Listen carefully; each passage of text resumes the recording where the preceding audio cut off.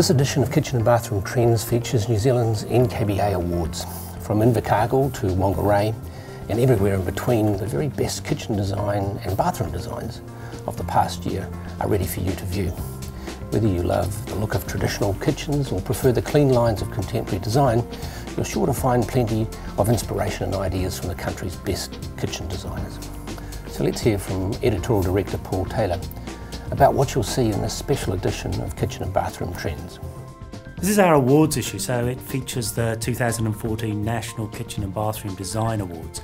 And the winning kitchen was by Melanie Craig, and she also won a couple of years ago.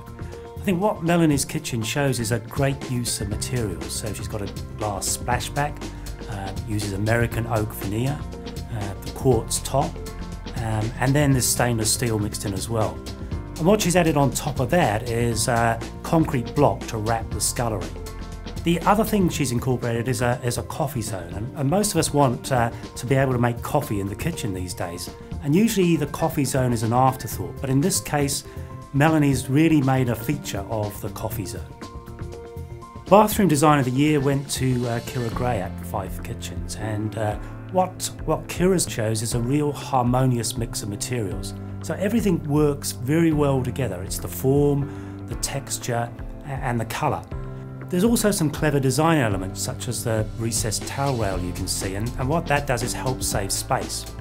And as well as Design of the Year, this bathroom also won Best Use of Lighting in a bathroom.